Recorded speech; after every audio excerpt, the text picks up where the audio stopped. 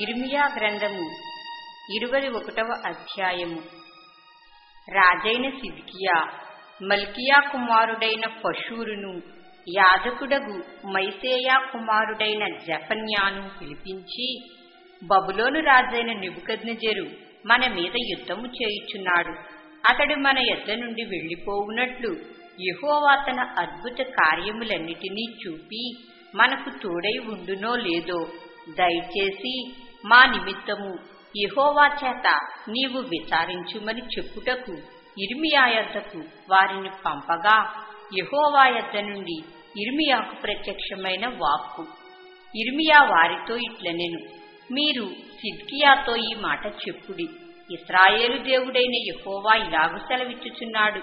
బబులోను రాజు మీదను మిమ్మును ముట్టడివేయు కల్దీయుల మీదను మీరుపయోగించుచున్న యుద్ధాయుధములను ప్రాకారముల బయట నుండి తీసుకుని ఈ పట్టణము లోపలికి వాటిని పోగు చేయించదను.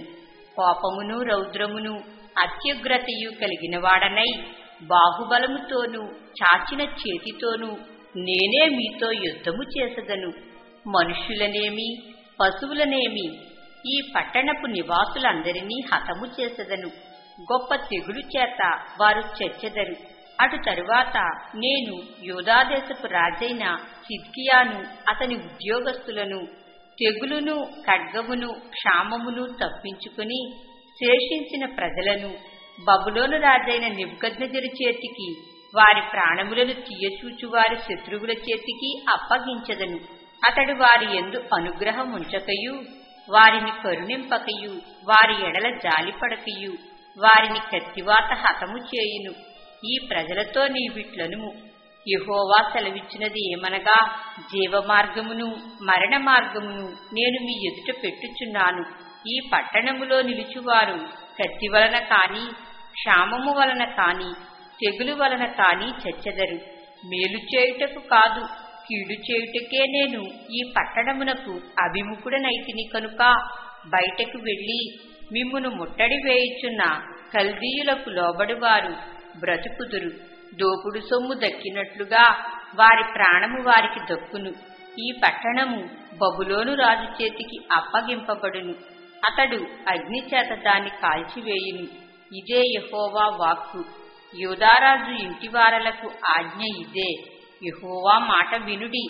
దావీదు వంశస్థులారా యహోవా ఇలాగ సెలవిచ్చుచున్నాడు. అనుదినము న్యాయముగా తీర్పు తీర్చుడి. దోచుకొనబడిన వానిని బాధ పెట్టువాని చేతిలో నుండి విడిపించుడి. అలాగు చేయని ఎడల మీ దుష్టక్రియలను బట్టి నా క్రోధము అగ్నివలే బయలువెడలి ఎవడును ఆర్పలేకుండా మిమ్మును దహించును. యహోవా వాక్కు ఇదే. లోయలో నివసించుదానా? మైదానమందలి బండ వంటిదానా? మా వీధికి రాగలవాడెవడు? మా నివాస స్థలములలో ప్రవేశించువాడు ఎవడు? అనుకుని వారలారా మీ క్రియల ఫలములను బట్టి మిమ్మును దండించదను. నేను దాని అరణ్యములో అగ్ని రగులబెట్టెదను. అది దాని చుట్టూనున్న ప్రాంతములన్నిటినీ కాల్చివేయును. ఇదే యహోవా వాక్కు.